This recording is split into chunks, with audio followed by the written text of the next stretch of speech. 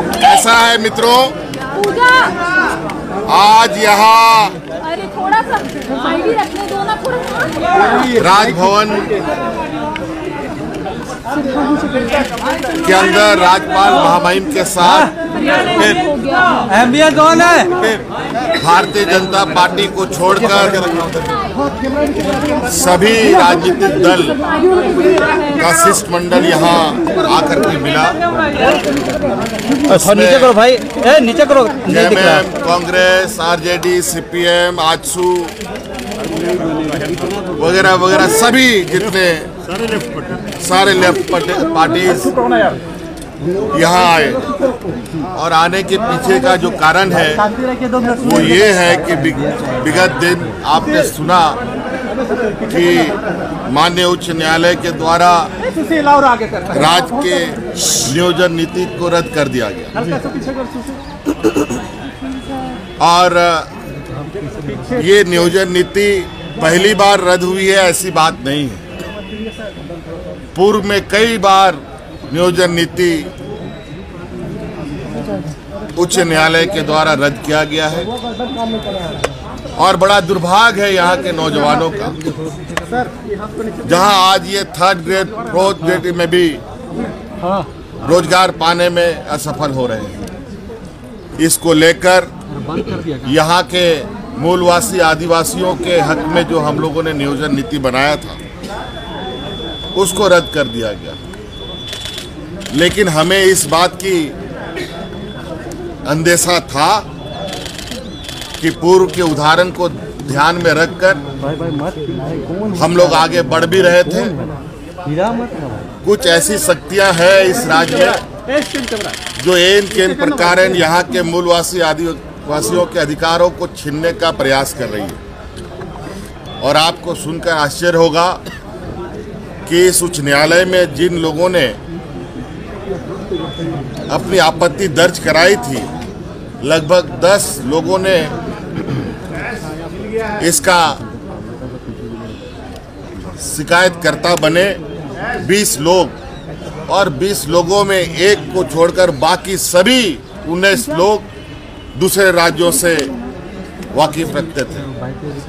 और बड़ा दुर्भाग्य की बात है, झारखंड का नियोजन नीति से दूसरे राज्य के नौजवानों के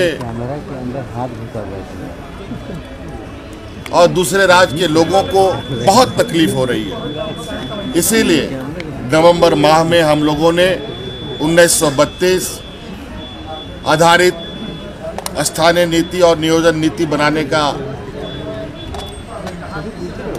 विधेयक पास किया था। ओबीसी को 27 प्रतिशत आरक्षण देने का विधेयक भी पास किया था जो अनुमोदन के, के लिए राज्यपाल महोदय के पास पहुँचा हुआ है।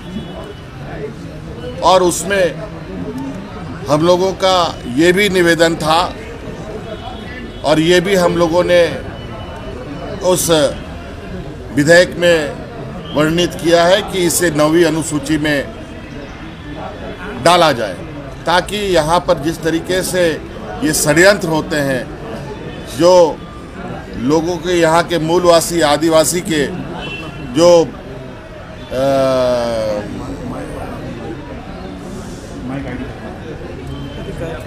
जो अधिकार है उसको मिल पाए। आज उसी को जल्द से जल्द पारित करने के लिए हमने महामहिम से आग्रह किया ताकि हम केंद्र सरकार के पास भी जा कर के इसको जल्द से जल्द नौवीं अनुसूची में शामिल कर इस राज्य को संरक्षित और इस राज्य के नौजवानों का भविष्य संरक्षित करने का काम हो सके।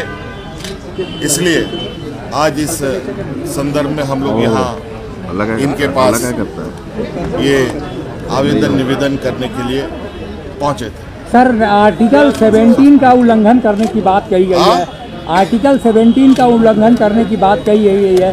नियोजन नीति को जो निरस्त किया गया है तो आप लोग क्या ऐसी बातें कहीं कोई कोई- कहीं कोई ऐसी नई बात नहीं है। हम लोगों ने कोई आर्टिकल का ये नहीं किया। और भी राज्यों में व्यवस्थाएँ ऐसी है जहाँ थर्ड ग्रेड फोर्थ ग्रेड के लिए लोग वहाँ के बच्चों को अ, सीधे तौर पर अ, प्राप्त होता है। ये सिर्फ़ यहाँ पर कुछ ऐसी गिरोह सक्रिय हैं जो नहीं चाहते हैं यहाँ के मूलवासी आदिवासियों को रोज़गार मिले, नौकरियाँ मिले। लेकिन अभी ये, यहीं पर चीज़ें रुकेंगी नहीं और हम आश्वस्त करना चाहेंगे आप लोगों को, आप लोगों के माध्यम से राज्य के नौजवानों को, हमारा प्रयास है कि आपको आपका अधिकार मिले और जो नियुक्तियाँ हैं, नियुक्तियों को लेकर के यथाशक्ति कोई अल्टरनेटिव रास्ता हम लोग निकालने का तैयारी करेंगे।